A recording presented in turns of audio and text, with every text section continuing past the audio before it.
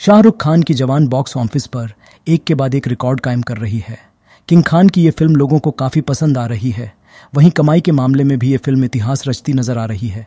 शाहरुख की पिछली फ़िल्म पठान ने बॉक्स ऑफ़िस पर काफ़ी शानदार परफॉर्म किया था। जवान उससे भी दो कदम आगे चल रही है। फ़िल्म ने शुरुआती दो दिनों में छप्पर फाट कमाई की और तीसरे दिन भी फ़िल्म ने ताबड़तोड़ परफॉर्म किया है। तीन दिनों में ये फ़िल्म 200 करोड़ के पार जा चुकी है, जहाँ समीक्षकों से फ़िल्म को अच्छे रिव्यू मिले हैं। तो वहीं सोशल मीडिया पर फैंस का रिएक्शन हर दिन देखने को मिल रहा है। तभी तो फ़िल्म की कमाई भी रिकॉर्ड ब्रेक कमाई कर रही है। दरअसल, जहाँ फ़िल्म ने दुनिया भर में 200 करोड़ पार का कलेक्शन कर लिया है तो वहीं केवल तीन दिनों में ही भारत में यह कमाई हासिल कर ली है, जो कि किसी रिकॉर्ड से कम नहीं है। आइए आपको बताते हैं, तीसरे दिन कैसी थी शाहरुख खान की जवान की रफ्तार। बॉक्स ऑफ़िस ट्रैकर सचनिल के शुरुआती आंकड़ों के अनुसार जवान बुलेट ट्रेन की तरह दौड़ रही है।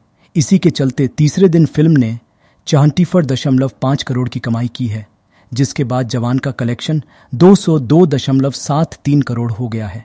वहीं इसमें एक सौ सतहत्तर दशमलव सात तीन करोड़ हिंदी, तमिल चौदह दशमलव तीन सात करोड़ और तेलुगु में दस दशमलव छह तीन करोड़ की कमाई कर चुकी है। बता दें, जवान कमाई के मामले में पहली हिंदी ऑफ़ ऑनल टाइम सबसे ज़्यादा कमाई करने वाली मूवी बन गई है। जबकि साल में शाहरुख खान की दूसरी ब्लॉकबस्टर साबित होने की राह पर निकलती दिख रही है। इस फ़िल्म में शाहरुख खान ने डबल रोल प्ले किया है। उनका एक रोल बाप का है और दूसरा बेटे का। दोनों ही किरदार में फैंस उन्हें काफ़ी पसंद कर रहे हैं। फ़िल्म में विजय सेतुपति विलेन के तौर पर नज़र आए हैं। दीपिका पादुकोण, संजय दत्त ने कैमियो रोल निभाया है। साथ ही सुनील ग्रोवर, संजीता भट्टाचार्य, सान्या मल्होत्रा, रिद्धि डोगरा जैसे सितारे भी फ़िल्म में नज़र आए हैं।